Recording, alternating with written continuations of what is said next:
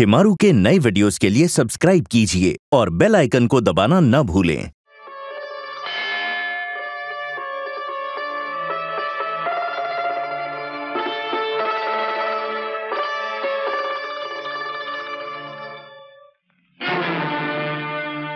सुनो, मेरी बात सुनो। जो बात मैं तुमसे कहना चाहता हूँ, उसके लिए इससे पवित्र स्थान और कोई नहीं हो सकता। मैं देवी देवताओं को हाजिर नज़र मानकर कहता हूँ कि मैं तुमसे बहुत प्यार करता हूँ। और तुमसे शादी करना चाहता हूँ। छोड़ो मेरा हाथ। मैं कहती छोड़ो मेरा हाथ। छोड़ो! क्या चाहते हो तुम? क्यों मेरे पीछे पड़े हो? आखिर क्या जानते हो तुम मेरे बारे में? सुन सकोगे? हिम्मत है? मेरा ख्याल छोड़ दो। मेरा एक अतीत है, एक माजी है। किसी की विधवा हूँ मैं।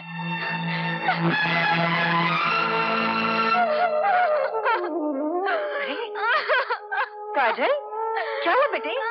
क्या हुआ? तू रो क्यों रही है? क्या? हुआ क्या बेटे? कुछ बोलती क्यों नहीं? क्या हुआ? मैं जीना नहीं चाहती माँ मैं मर जाना चाहती हूँ। मुझे मौत क्यों नहीं आती ना बेटी ना मेरी बच्ची। मुझे मौत ऐसा मत बोल। ऐसा मत बोल। शांत हो जा।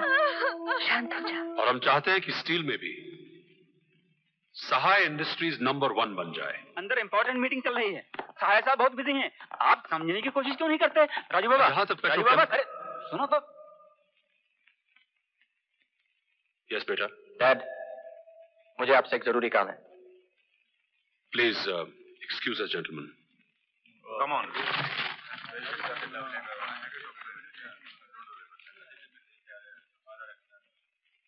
फरमाइए अपना ज़रूरी काम।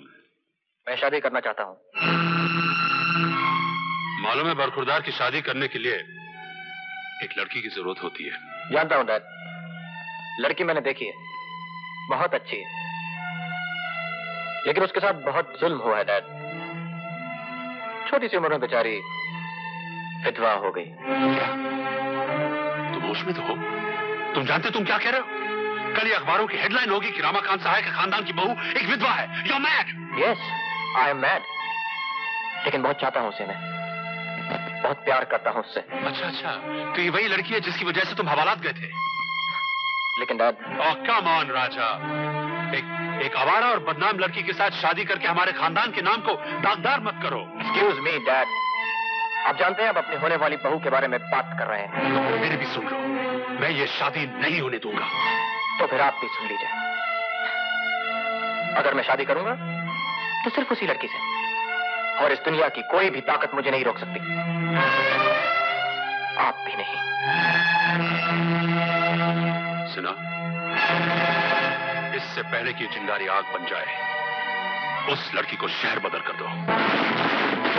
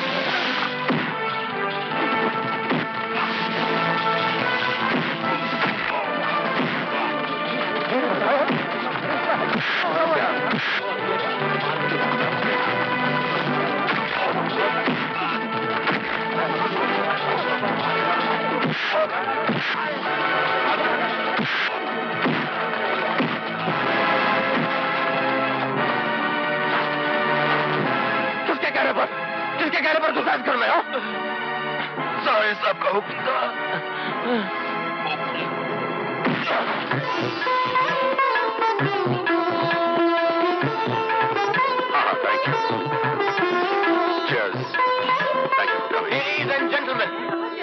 attention please. रमाकांत सहाय को कौन नहीं जानता? बहुत बड़े इंडस्ट्रियलिस्ट हैं इस देश के। किंग मेकर अरे, लाखों रुपया चंदा देते हैं इलेक्शंस में। और सूद समेत वसूल भी करते हैं। और आज ये बहुत बड़ा कारनामा करके आए हैं। एक बेचारी मजलूम औरत और उसकी विधवा बहू पर इनके गुंडों ने हमला किया।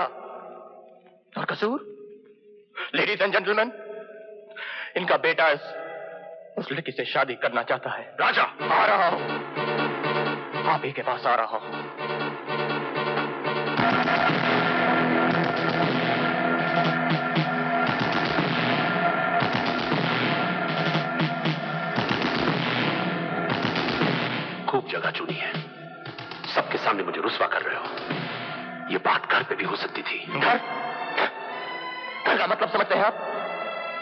तो लोगों के बसे हुए घर उजाड़ते हैं। राजा ये मत भूलो तुम अपने बाप की बेइज्जती कर रहे हो। अगर आप बाप का मतलब समझते ना तो अपने बेटे की खुशियाँ ना उजाड़ते। तुम हद से गुजर रहे हो राजा।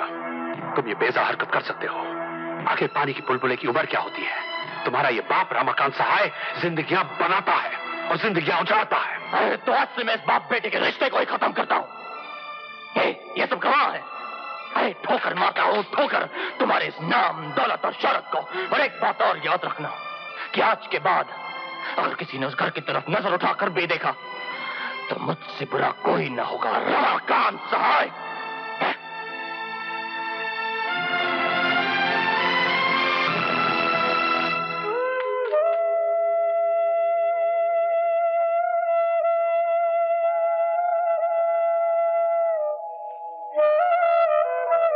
मैं सब कुछ छोड़ आया हूँ, माँ। सब कुछ छोड़ आया हूँ मैं। वो दुनिया ही छोड़ आया हूँ मैं। वो नाम वो दौलत वो जायदाद वो वो पाप सब कुछ छोड़कर तेरे पास आ गया हूँ माँ। मैं तुझसे काजल की भीख मांग रहा हूँ। लेकिन बेटा जानते हो काजल तो? जानता हूँ माँ जी। लेकिन इसमें काजल का क्या कसूर है कि वो एक विधवा है? अरे अगर दोष देना है ना माँ जी तो उस भगवान को दो। ये सब जानते हुए भी माँ जी पर बेटा, वो मुझे काजल दे दे, माँ। मैं जमाने भर की सारी खुशियाँ समेट कर उसकी ज़िंदगी आबाद करना चाहता हूँ, बस।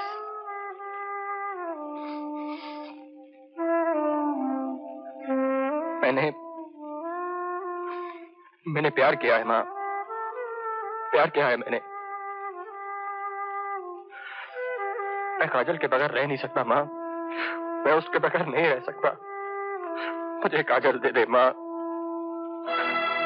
तुझसे काजल की भीख मांगने आया हूँ। काजल मुझे दे दे, माँ।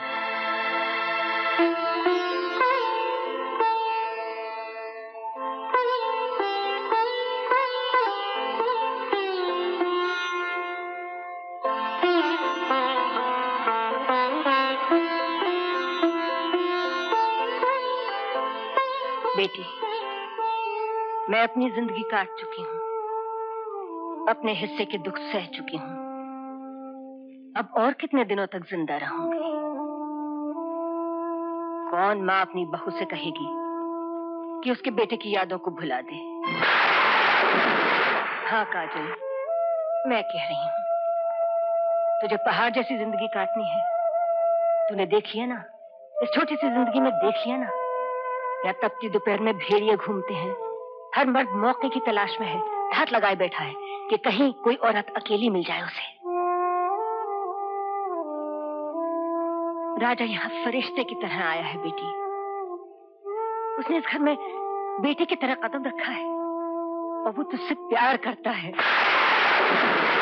ये जमाना बहुत बुरा है बेटी। ये तुझे जीने नहीं देगा। इस, इसे तो सीता माँ को नहीं बख्शा। और तू तो बेटी काजल माँ कट जाएगी ज़िंदगी उनकी यादों के सहारे। मैं आपके आगे हाथ जोड़ती हूँ माँ जी। मुझे उनकी यादों से तो अलग ना करो। नहीं तो मैं मर जाऊँगी माँ जी। मैं मर जाऊँगी। बस कर। जब भी मैं तुझे इस सफ़ेद लिबास में देखती हूँ तो मुझे अपने को के उजड़ जाने का एहसास होता है? अगर मैं तिल तिल मर के जी रही हूँ तेरी खातिर। लेकिन मैं हमेशा तो तेरे साथ नहीं रहूँगी। और आज ये लड़का आया है अपना सब कुछ छोड़कर सारी दुनिया से बगावत करके तेरी दुनिया आबाद करने। और तू कह रही है कि तू ये शादी नहीं करेगी? तुझे ये शादी करनी होगी। नहीं माँ जी मेरी खातिर। मेरी ममता की खातिर। अगर तू ये शादी नहीं करेगी तो अपनी माँ का मरा मुँह देखेगी। Bye.